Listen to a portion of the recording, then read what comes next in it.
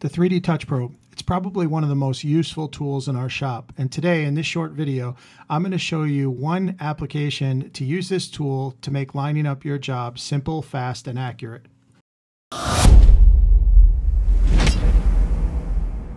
This particular 3D Touch Probe is sold by Stepcraft. It's designed with an 8 millimeter shank on the top of it, so I'm able to put an 8 millimeter collet in my tool holder and then I can simply pop it out and then pop it back in whenever I need to use it. And I know anytime I use it, it's perfectly aligned with the center of the spindle. So whatever measurement it gives me in this corner is going to be accurate no matter what size end mill I use.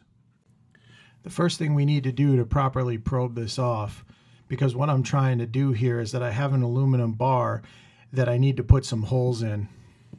So I set my job up to have the XY datum on the lower left hand corner which means that I need the center of this touch probe to be exactly on the corner so any other bit that I put in the machine is perfectly aligned with that starting point. And all of the holes will be placed based on that exact corner location. You could do it by hand by simply using a piece of paper and bringing the end mill in and touching off on X and then bringing it around to touch off on Y. But this makes it so much easier. And all I need to do with this probe is I need to move it roughly above the surface in the corner of the material within a half inch of the left edge and the bottom edge. So the probe is located just above the material in the corner. On the screen, I'm going to press this button right here, and it's going to tell me that it's going to probe the Z height and the lower left corner of the material. I'm going to press OK, and then it's going to come over and it's going to probe the top and then it's going to move to the left side and it's going to probe on the x-axis. Then it's going to lift up, move back to the starting position, come down, and it's going to probe the y-axis. When it's finished, the center of the touch probe will be in the exact corner of your work material. Now, when the job is done, it's basically going to tell me that it's probed the X, Y, and Z, and it will leave the touch probe one millimeter above the surface of the material. Now, if you notice here on the DRO, my X, Y, and Z were zeroed, and then Z was left in one millimeter above the work material. That was all done by the macro for the touch probe. Now, this particular touch probe has a diameter of two millimeters, and the macro, which are these buttons right here, takes into consideration that diameter and adds an offset after it probes off the edges automatically by touching on the edge of the tool. Technically, that would put the center of the touch probe outside the corner, and then you'd have to manually move it in one millimeter in either direction. This is handled by the macro automatically to make sure that the center of that probe is exactly in that corner point.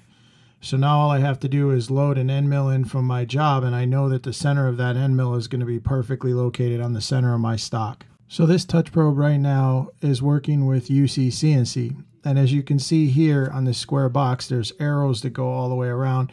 This allows you to touch off on various points along a workpiece just by simply touching one of those arrows. You can also probe off the outside and inside of a circle and the outside and inside of a square as well. You can also do digitizing for 3D scanning and bed leveling as well. All of these macros are available for UC CNC. Now, if you're using Mach 3, I know that there are probe macros available for Mach 3 as well. And this particular touch probe is designed to work with any CNC by using the tool length sensor or probe circuit. Now the first end mill I'm going to use for this particular job is a hole spotting end mill, as you can see right here. And all I want to do is spot the center of the holes on this workpiece. Now that the probe is done, I can raise my gantry and simply press the button and I can eject the touch probe from the machine and unplug it. And then I can just simply pop in the new spot drill and I can go ahead and run my job from there.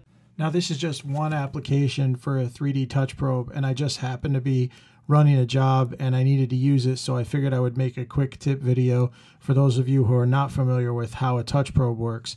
So I'll have uh, many different videos in the near future showing different applications with this particular tool and how it could save you a lot of time in your setup on your jobs on your CNC.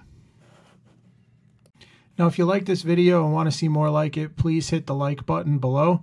And if you've not already done so, please be sure to hit the subscribe button to be notified every time we post a new video.